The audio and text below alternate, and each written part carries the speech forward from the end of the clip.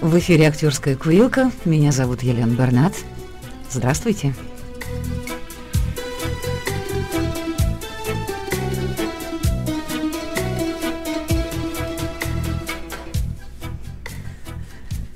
Вы знаете, дорогие друзья, на днях у меня в жизни произошло грандиозное событие. И я бы очень хотела с вами поделиться им, этой информацией, так сказать. На первый взгляд, наверное, это покажется странным. И если бы я рассказала об этой ситуации в 80-е, в 70-е, в 90-е, вы бы недоуменно пожали плечами и сказали, о чем вообще она говорит? Что, ну что это за событие? Но произошло это в 2019 году в Америке а, и в абсолютно американской компании, в которой я работаю. Во время обеденного перерыва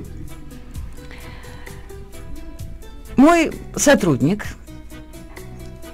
сел за стол, достал из сумки бумажную книгу и начал ее читать. Учитывая, что ему 28 лет, совершенно американский ребенок, мексикано-пуэрториканского происхождения, читал бумажную книгу. Первое мое желание было схватить э, телефон и начать его фотографировать. Потом, конечно же, я от этого отказалась, это не совсем деликатно. И он, видимо, почувствовал э, мое удивление, мое напряжение, поднял на меня глаза от книги и вдруг сказал, «О, Лена, ты ведь русская, правда? Ты знаешь, мне нужен твой совет.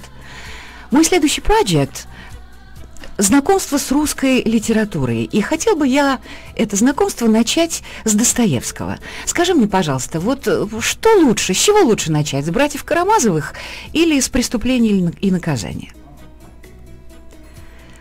Ну, тут у меня глаза стали превращаться с размером в чайные блюдца. Я мягко опустилась в кресло и забыла, как дышать. Потом я ему сказала, послушай, а почему именно с Достоевского? Достоевский все-таки это ну, тяжеловато для восприятия, и потом неизвестно, какой перевод попадет тебе в руки, а у Достоевского специфика все-таки русского языка очень опасно переводить таких авторов, как Достоевский. Может быть, тебе начать попытаться с кого-то другого? Кстати, а что ты читаешь? спросила я.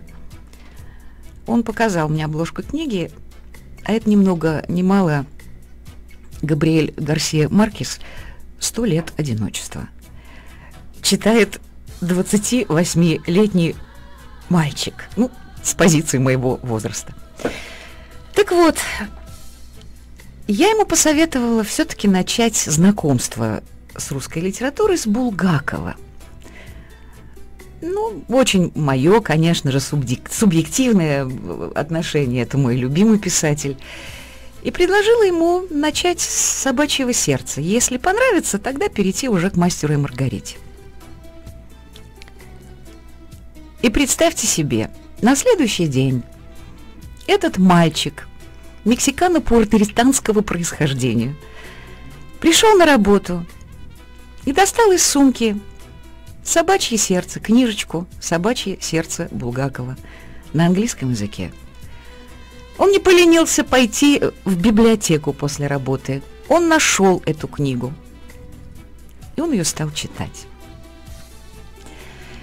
Вот если раньше я шла на работу, потому что на работу нужно ходить каждый день, то сейчас я лечу на эту работу, потому что я заново читаю «Собачье сердце» Булгакова вместе с ним. Я не могу дождаться, чтобы увидеть его и спросить, где ты сейчас, какой эпизод ты сейчас читаешь, все ли тебе понятно – ему многое непонятно. Он мне задает удивительные вопросы. Например, Лен, а что такое галоши? Или Лена, а что такое шарик? Помните, шариком назвала она меня. Ну какой я к черту шарик? Шарик это же что-то круглое, упитанное. По утрам овсянку жрет. В общем, не случайно выбрана сегодняшняя тема программы не случайно я хочу напомнить вам о том, что у нас есть Михаил Афанасьевич Булгаков, что у нас с вами есть собачье сердце Михаила Афанасьевича Булгакова.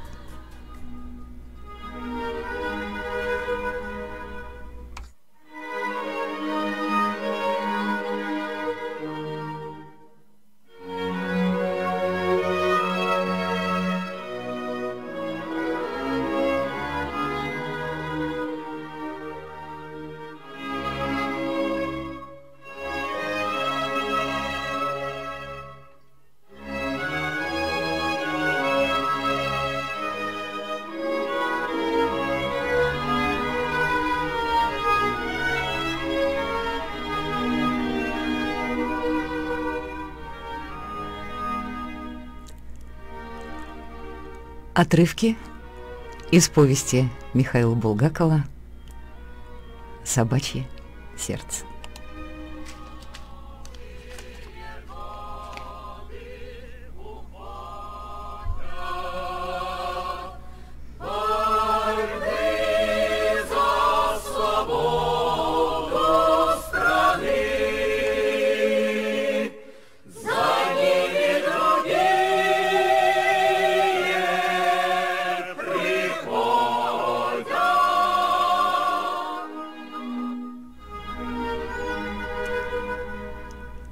Учиться читать совершенно ни к чему. Когда мясо и так пахнет за версту. Тем не менее, ежели вы проживаете в Москве, и хоть какие-нибудь мозги у вас в голове имеются, вы волей-неволей выучитесь грамоте, и притом безо всяких курсов. Из 60 тысяч московских псов Разве уж какой-нибудь совершенно идиот не умеет сложить из букв слово «колбаса». Шарик начал учиться по цветам. Лишь только ему исполнилось 4 месяца, по всей Москве развесили зелено-голубые вывески с надписью МСПО – «Мясная торговля». Повторяем, что все это ни к чему, потому что и так – мясо слышно. Да и путаница раз произошла, равняясь по голубовато-едкому цвету шарик, обоняние которого зашиб бензинным дымом мотор, вкатил вместо мясной в магазин электрических принадлежностей братьев Голуб на Мясницкой улице. Там у братьев пес отведал изолированные проволоки, а она будет почище извозчичьего кнута. И этот знаменитый момент и следует считать началом шариковского образования. Уже на тротуаре тут же Шарик начал соображать, что «голубой» не всегда означает «мясной», и, зажимая от жгучей боли хвост между задними лапами, и воя припомнил, что во всех мясных, первой слева, стоит золотая или рыжая раскоряка похожие на санки. Мэ. Далее пошло еще успешнее. А он выучил в глав рыбе на углу маховой, а потом Б. Подбегать ему было удобнее с хвоста слова «рыба», потому что в начале слова стоял милиционер. Изразцовые квадратики, облицовывавшие угловые места в Москве, всегда и неизбежно означали «с», «ы», Р.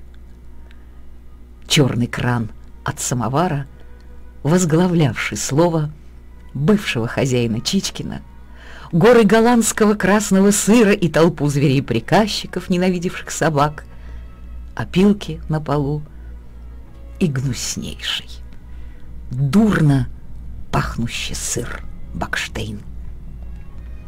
Если играли на гармонике и пахло сосисками, первые буквы на белых плакатах чрезвычайно удобно складывались в слово «не при ли», что значило неприличными словами не выражаться и на чай не давать.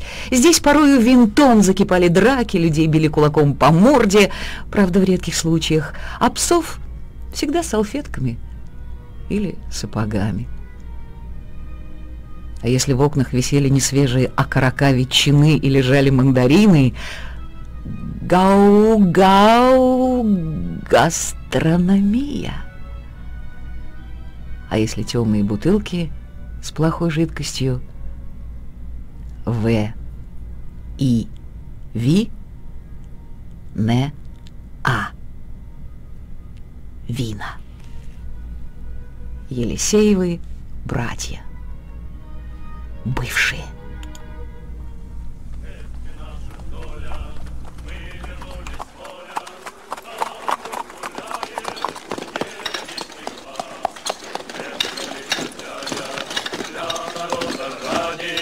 Никакая контра не уйдет от нас. Чу-чу-чу, стучат, стучат копытом.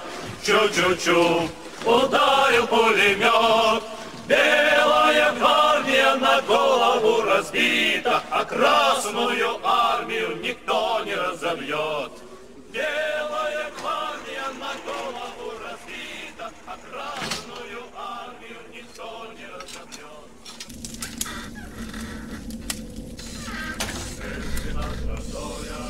Мы вернулись с поля, а вокруг гуляет ядовитый класс. Эх, скажи-ка, дядя, для народа ради Никакая контра не уйдет от нас. Чу-чу-чу, стучат, стучат копыта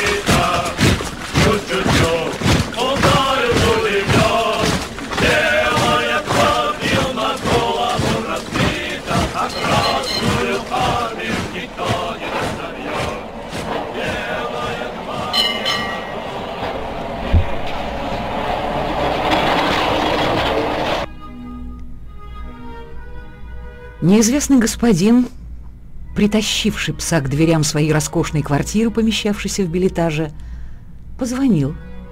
А пес тотчас же поднял глаза на большую черную с золотыми буквами карточку, висящую сбоку, широкой, застекленной волнистым и розовым стеклом двери. Три первых буквы он сложил сразу — П, Р, О, ПРО — но дальше шла пузатая двубокая дрянь, неизвестно что, обозначающая. «Неужели пролетарий?» — подумал Шарик с удивлением. «Быть этого не может». Он поднял нос кверху, еще раз обнюхал шубу и уверенно подумал.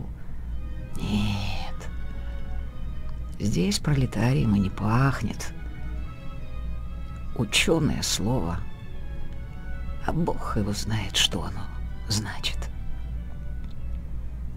За розовым стеклом вспыхнул неожиданный радостный свет, еще больше оттенив черную карточку. Дверь совершенно бесшумно распахнулась, и молодая красивая женщина в белом фарточке и кружевной наколке предстала перед псом и господином.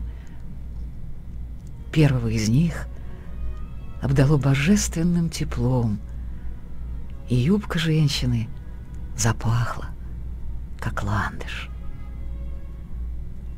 Вот это да! Это я понимаю, подумал пес. Пожалуйте, господин Шарик, иронически пригласил господин, и Шарик благоговейно пожаловал вертя хвостом. Великое множество предметов загромождало богатую переднюю. Тут же запомнилось зеркало до самого пола, немедленно отразившее второго истасканного и рваного шарика.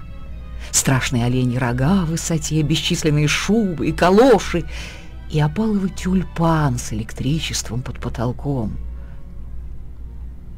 «Где же вы такого взяли, Филипп Филиппович?» Улыбаясь, спрашивала женщина и помогала снимать тяжелую шубу на черно-бурой лисе с синеватой искрой. «Батюшки, да чё ж паршивый?» «Вздор, говоришь?» «Где же он паршивый?» — строго и отрывисто спрашивал господин. По снятии шубы он оказался в черном костюме английского сукна, и на животе у него радостно и неярко засверкала золотая цепь. «Погоди-ка! Да не вертись!» «Хм, это не парша. Да стой ты, черт! Это ожог. Какой же негодяй тебя обварил, а?» «Повар, повар, каторжник, повар!» — жалобными глазами молвил пес и слегка подвыл. «Зина!» — скомандовал господин. «Смотровую его, сейчас же! А мне халат!» Женщина засвистела, пощелкала пальцами, и пес, немного поколебавшись, последовал за ней. Они вдвоем попали в узкий, тускло освещенный коридор, одну лакированную дверь миновали, пришли в конец, а затем проникли налево и оказались темной комнате, которая мгновенно не понравилась псу своим зловещим запахом. Тьма щелкнула, превратилась в ослепительный день, причем со всех сторон засверкала, засияла, забелела. «Э, нет!» — медленно взвыл пес. «Извините, не дамся!» Понимаю. Ох, черт бы их взял с их колбасой. Это же они меня в собачью лечебницу заманили. Сейчас касторку заставят жрать. Весь бок изрежут ножиком. А до него и так дотронуться нельзя. Эй, эй, куда? Закричала та, которую звали Зиной. Пес извернулся, спружинился и вдруг ударил в дверь здоровым правым боком так, что хряснуло по всей квартире. Потом, отлетев назад, закрутился на месте, как кубрь под кнутом, причем вывернул на пол белое ведро, из которого разлетелись комья ваты, и во время верчения кругом порхали стены, уставленные шкафами с блестящими инструментами, запрыгал белый передник, искаженное женское лицо. «Да куда ж ты, черт, лохматый!» — кричала отчаянно Зина. «Вот окаянный! Где у них черная лестница?» — соображал пес. Он размахнулся, комком ударил на обума стекло в надежде, что это вторая дверь. Туча осколков вылетела с громом и звоном, выпрыгнула пузатая банка с рыжей гадостью, которая мгновенно залила пол и завоняла. Настоящая дверь распахнулась. «Стой, скотина!» — кричал господин, прыгая в халате, набет, надетом на один рукав и хватая пса за ноги. «Зина! Зина, держи его за шиворот, мерзавца!» Еще шире распахнулась дверь ворвалась еще одна личность мужского пола в халате, давя битые стекла, накинулась не капсу к шкафу, раскрыла его и всю комнату заполнила сладким и тошным запахом. Затем личность навалилась на пса сверху животом, причем пес с увлечением тяпнул ее повыше шнурков на ботинке, личность охнула, но не потерялась. Тошнотворная мерзость неожиданно перехватила дыхание пса — в голове у него завертелось, потом ноги отвалились, и он поехал куда-то криво и в бок. Спасибо, конечно, мечтательно подумал он, валясь прямо на острые стекла. Прощай, Москва. Не видать мне больше Чичкина, пролетариев и краковской колбасы. Иду в рай за собачье долго терпение. Братцы, живодеры, за что ж вы меня? И тут он окончательно завалился на бок и издох. Для тех, кто только что подключился к своим радиоприемникам, в эфире «Актерская курилка». Меня зовут Елена Бернат. И сегодня мы вспоминаем с вами Михаила Афанасьевича Булгакова. Отрывки из повести «Собачье сердце».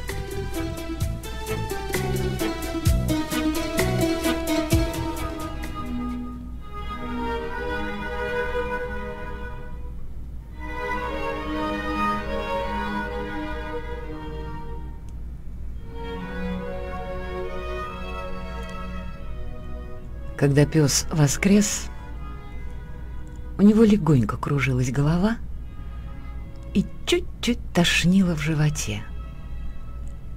Бока же как будто не было. Бог сладостно молчал. Пес приоткрыл правый томный глаз и краем его увидел, что он туго забинтованный поперек боков и живота. Все-таки отделали, сукины дети, подумал он смутно, но ловко. Надо отдать им справедливость. От Севильи до Гренады В теплом сумраке ночей Запел над ним рассеянный И фальшивый голос. Пес удивился, совсем открыл оба глаза И в двух шагах увидел мужскую ногу на белом табурете.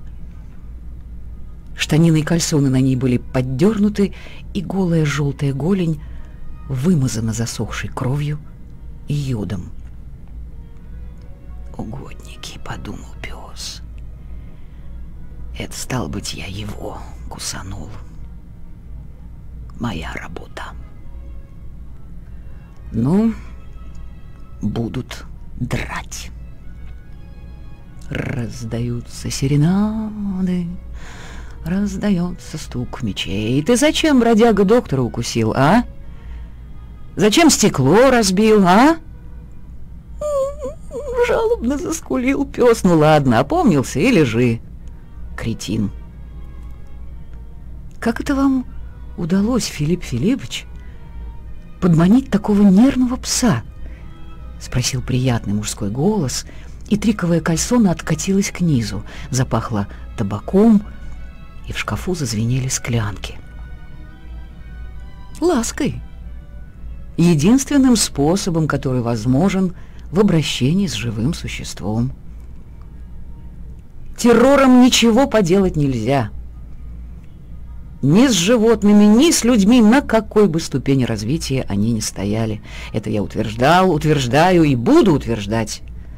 Они напрасно думают, что террор им поможет. Нет, нет, нет, не поможет, какой бы он ни был, белый, красный или даже коричневый. Террор совершенно парализует нервную систему. Зина! Я купил этому прохвосту краковской колбасы на 1 рубль 40 копеек. Потрудитесь накормить его, когда его перестанет тошнить. Захрустели выметаемые стекла, и женский голос кокетливо заметил. «Краковской? Господи, да ему надо было купить на двух гривен и в мясном обрезков. Краковскую колбасу я и сама лучше съем». Только попробуй, я тебе съем. Это отрава для человеческого желудка. Взрослая девушка, а как ребенок тащишь в рот всякую гадость. Не сметь. Предупреждаю, ни я, ни доктор Барменталь не будем с тобой возиться, когда у тебя живот схватит. Мягкие дробные звоночки сыпались в это время по всей квартире, а в отдалении с передней то и дело слышались голоса. Зазвенел телефон, Зина исчезла. Филипп Филиппович бросил окурок папиросы в ведро, застегнул халат, перед зеркальцем на стене расправил пушистые усы и окликнул пса. «Ну что, идем принимать?» Пес поднялся на нетвердые ноги, покачался и подражал, но быстро оправился и пошел следом за развивающейся полой Филиппа Филиппча. Опять пес пересек узкий коридор, но теперь увидел, что он ярко освещен сверху розеткой. Когда же открылась лакированная дверь, он вошел с Филипп Филипповичем в кабинет, и тот ослепил пса своим убранством. Прежде всего он весь полыхал светом, горело под лепным потолком, горело на столе, горело на стене, в стеклах шкафов. Свет заливал целую бездну предметов, из которых самым занятным оказалась громадная сова, сидящая на стене на суку. «Ложись», — приказал Филипп Филиппович.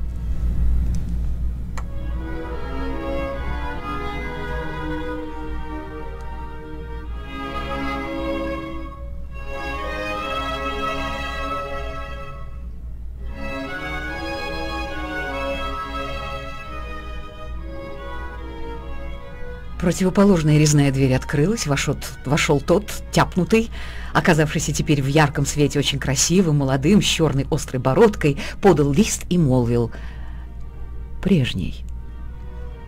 Тотчас бесшумно исчез, а Филипп Филиппович, распростерший полы халата, сел за громадный письменный стол и сразу сделался необыкновенно важным и представительным. Нет, это не лечебница. Куда-то в другое место я попал в смятении, подумал пес, и привалился на ковровый узор у тяжелого кожаного дивана. А сову эту мы разъясним. Дверь мягко открылась, вошел некто, настолько поразивший пса, что он тявкнул, но очень робко молчать. Ба! Да вас не узнать, голубчик!» Вошедший очень почтительно и смущенно поклонился Филипп Филипповичу. «Снимайте штаны, голубчик», — скомандовал Филипп Филиппович и поднялся. «Господи Иисусе!» — подумал пес. «Вот так фрукт!»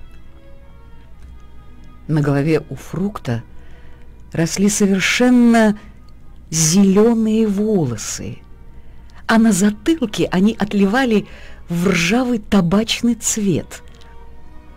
Морщины расползались на лице у фрукта, но цвет лица был розовый, как у младенца. Левая нога не сгибалась, ее приходилось волочить по ковру, зато правая прыгала, как у детского щелкуна.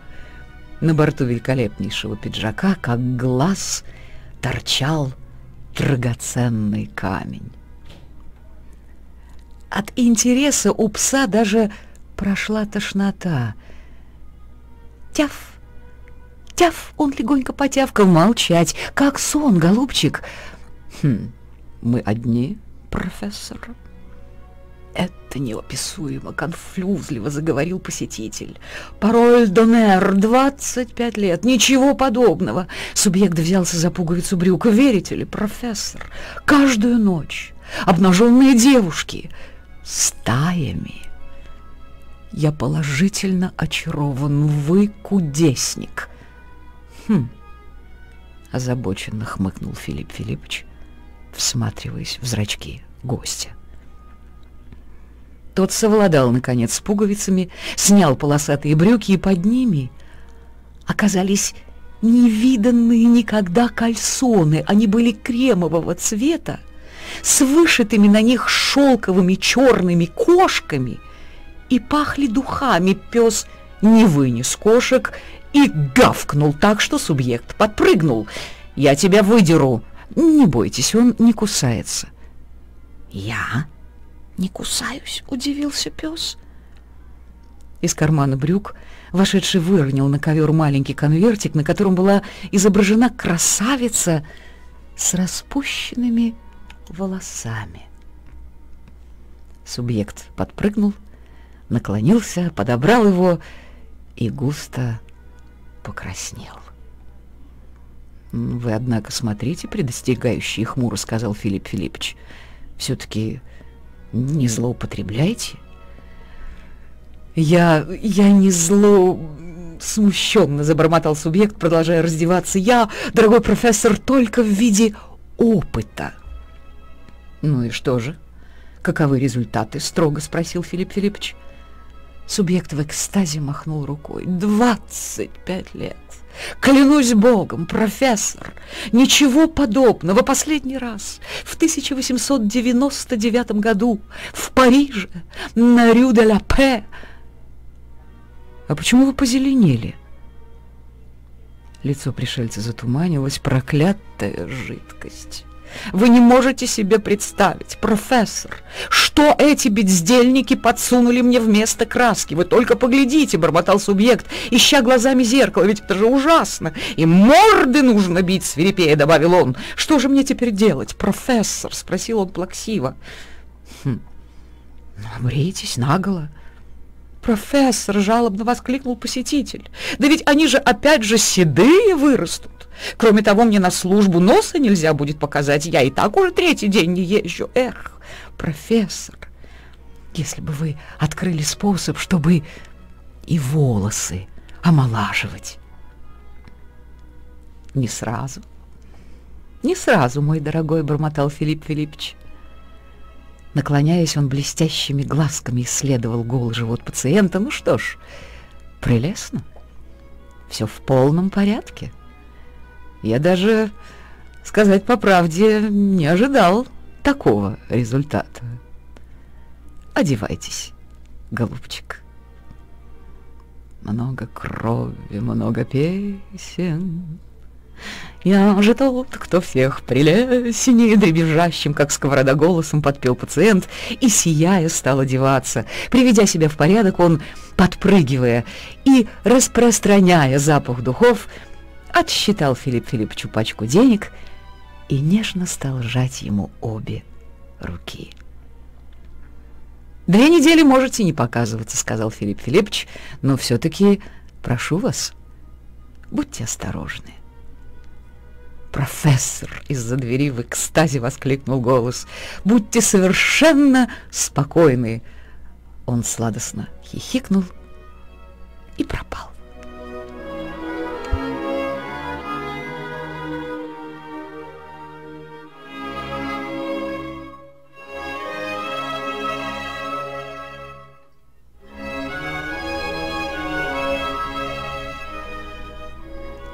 Рассыпной звонок пролетел по квартире, лакированная дверь открылась, вошел тяпнутый, вручил Филипп Филипповичу листок и заявил. Годы показаны неправильно, вероятно, 54-55, тоны сердца глуховатые. Он исчез и сменился шуршащей дамой в лихо заломленной на бок шляпе и со сверкающим колье на вялой и жеванной шее. Страшные черные мешки сидели у нее под глазами, а щеки были кукольно-румяного цвета. Она очень сильно волновалась. «Сколько вам лет, сударыня?» Очень сурово спросил ее Филипп Филиппович. Дама испугалась и даже побледнела под коркой румян. «Я профессор, клянусь, если бы вы знали...» Какая у меня драма. Лет вам сколько, сударыня, еще суровее повторил Филипп Филиппович. Честное слово. Ну, сорок пять. Сударыня, возопил Филипп Филиппович. Меня ждут. Не задерживайте, пожалуйста, вы же не одна. Грудь дамы бурно вздымалась. Я вам одному. Как светил науки. Но, клянусь, это такой ужас. Сколько вам лет? Яростно и визгливо спросил Филипп Филиппович. И очки его блеснули. «Пятьдесят один!» Корчась от страху, ответила дама. «Снимайте штаны, сударыня», — облегченно молвил Филипп Филиппович и указал на высокий белый эшафот в углу. «Клянусь, профессор», — бормотала дама, дрожащими пальцами расстегивая какие-то кнопки на поясе этот Альфонс, я вам признаюсь, как на духу. «Богом клянусь», — говорила дама, и живые пятна сквозь искусственные продирались на ее щеках. «Я знаю, это моя последняя страсть, ведь это такой негодяй. О, профессор, он карточный шулер, его знает вся Москва. Он не может пропустить ни одной гнусной модистки, ведь он так дьявольски молод». Дама бормотала и выбрасывала из-под шумящих юбок скомканный кружевной клок. Пес совершенно затуманился, и все в голове у него пошло кверху ногами. «Ну вас, к черту!» — мутно подумал он. Положил голову на лапы и задремал от стыда и стараться не буду понять, что это за штука. Все равно не пойму. Очнулся он от звонка и увидел, что Филипп Филиппович швырнул в таз какие-то сияющие трубки. Пятнистая дама, прижимая руки к груди, с надеждой глядела на Филиппа Филипповича, а тот важно нахмурился и, сев за стол, что-то записал. «Я вам, сударыня, вставлю яичники обезьяны. объявил он и посмотрел строго. Ах, профессор, неужели обезьяны? Да, непреклонно ответил Филипп Филиппович. И когда же операция? Бледным и слабым голосом спрашивала дама. Ансивили до Гренады. В понедельник. Ляжете в клинику с утра, мой ассистент приготовит вас. Я не хочу в клинику. Нельзя ли у вас, профессор? Видите ли, у себя я делаю операции лишь в крайних случаях. Это будет стоить очень дорого, 50 червонцев. Я согласна,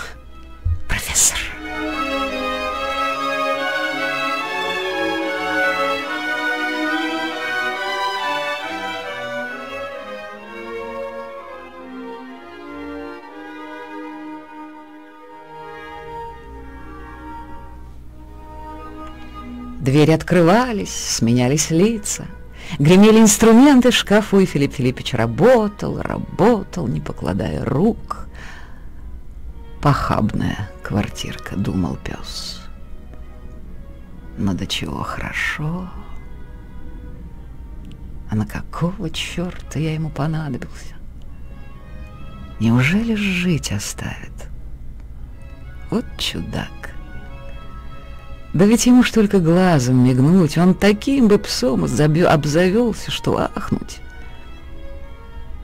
А может, я и красивый? Видно мое счастье.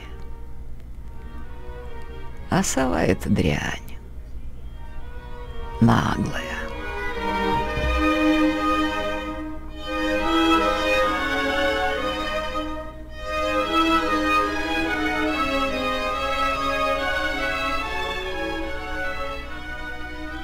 Окончательно пес очнулся вечером, когда звоночки прекратились, и как раз в то мгновение, когда дверь пропустила особенных посетителей.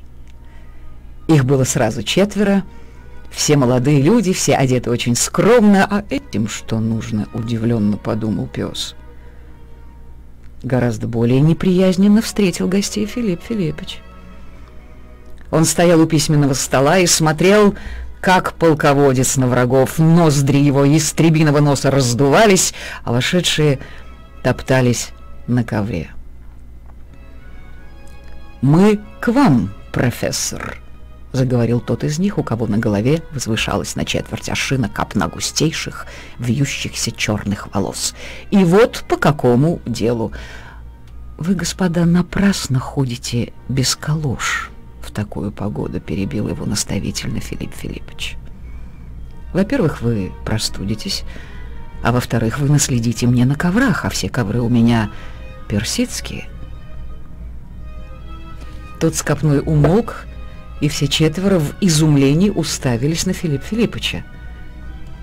Молчание продолжалось несколько секунд, и прервал его лишь стук пальцев Филиппа Филипповича по расписному деревянному блюду на столе. Во-первых, мы не господа, молвил наконец самый юный из четверых персикового вида. Во-первых, перебил его Филипп Филиппович, вы мужчина или женщина? Четверо вновь смолкли, открыли рты. На этот раз опомнился первый тот скопной. «Какая разница, товарищ?» — спросил он горделиво. «Я женщина», — признался персиковый юноша в кожаной куртке и сильно покраснел. Вслед за ним покраснел почему-то густейшим образом один из вошедших блондин в папахе. «В таком случае вы можете оставаться в кепке. А вас, милостивый государь, я попрошу снять головной убор», — внушительно сказал Филипп Филиппович. «Я вам не милостивый, государь», — резко заявил блондин, снимая папаху. «Мы пришли к вам», — вновь начал черный скопной. «Прежде всего, кто это мы?» «Мы — новое домоуправление нашего дома», — в сдержанной ярости заговорил черный. «Я Швундер, она Вяземская, он товарищ Пеструхин и товарищ Жаровкин. И вот мы... Э, это вас вселили в квартиру Федора Павловича Шаблина? Нас, ответил Швондер. Боже, пропал дом. В отчаянии воскликнул Филипп Филиппович и всплеснул руками. «Что вы, профессор, смеетесь?» — возмутился Швондер. «Ой, да какой там сны? Ой, я в полном отчаянии. Что же теперь будет с паровым отоплением? Вы издеваетесь, профессор? Да какой там? По какому делу вы пришли ко мне? Говорите как можно скорее, я иду обедать. Мы, управление дома, пришли к вам после общего собрания жильцов дома, на котором стоял вопрос об уплотнении квартир дома. Кто на ком стоял? Потрудитесь излагать ваши мысли яснее. Вопрос стоял об уплотнении. Довольно. Я понял. А вам известно, что постановлением от 12 сего августа моя квартира освобождена от каких бы то ни было уплотнений и переселений? Известно, ответил Швондер.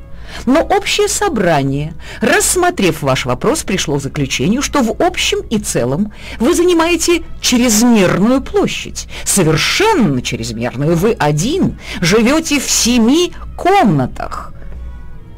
Я один живу и работаю в семи комнатах, ответил Филипп Филиппович, и желал бы иметь восьмую. Она мне необходима под, библиотеку.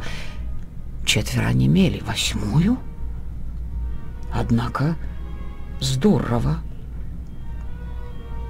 У меня приемная, заметьте, она же библиотека, столовая, мой кабинет 3, смотровая 4, операционная 5, моя спальня 6 и комната прислуги 7. В общем, мне не хватает, да, впрочем, это не важно. Моя квартира свободна и разговору конец. Могу я идти обедать?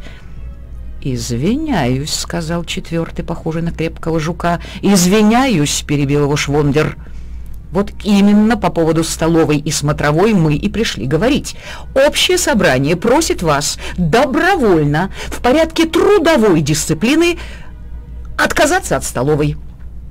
Столовых нет ни у кого в Москве, даже у Айсидоры Дункан, звонко крикнула женщина.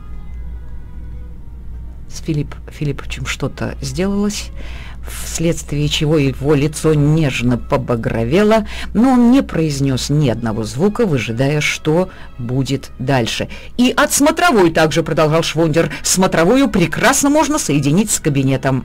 «Угу», — молвил Филипп Филиппович каким-то странным голосом. «А где я должен принимать пищу?» «В спальне», — хором ответили четверо. Багровость Филипп Филипповича приняла несколько сероватый оттенок. «В спальне принимать пищу», — заговорил он придушенным голосом, «в смотровой читать, в приемной одеваться, оперировать в комнате прислуги, а в столовой осматривать». Очень возможно, что Айсидора Дункан так и делает. Может быть, она в кабинете обедает, кроликов режет в ванной, может быть, но я не Айсидора Дункан, вдруг рявкнул он, и багровость его стала желтой. Я буду обедать в столовой, а оперировать в операционной. Передайте это общему собранию и покорнейше прошу вас вернуться к вашим делам, а мне предоставить возможность принять пищу там, где ее принимают все нормальные люди, то есть в столовой, а не в передней и не в детской. Тогда профессор. «Ввиду вашего упорного противодействия, — сказал взволнованный Швундер, — мы подаем на вас жалобу в высшие инстанции». «Ага!» — молвил Филипп Филиппович. Голос его принял подозрительно вежливый оттенок. «Одну минуточку, прошу вас подождать». «Вот это парень в восторге!» — подумал пес весь в меня. Ох, тяпнет он их сейчас, ох, тяпнет. Я не знаю, каким способом, но так тяпнет, бери их. Этого голенастого сейчас взять повыше сапога за подколенное сухожилие. Филипп Филиппович, стукнув, взял трубку с телефона и сказал в нее так. Пожалуйста, да-да, благодарю вас. Петра Александровича, попросите, пожалуйста. Профессор Преображенский. Петр Александрович, очень рад, что вас застал. Благодарю вас, здоров. Петр Александрович, ваша операция отменяется. Что? совсем отменяется, равно как и все остальные операции. Вот почему я прекращаю работу в Москве и вообще в России. Сейчас ко мне вошли четверо, а я один из них, женщина, переодетая мужчиной, двое вооруженные револьверами, и терроризировали меня в квартире с целью отнять часть ее. «Позвольте, профессор», — начал Швондер, меняясь в лице, — «извините».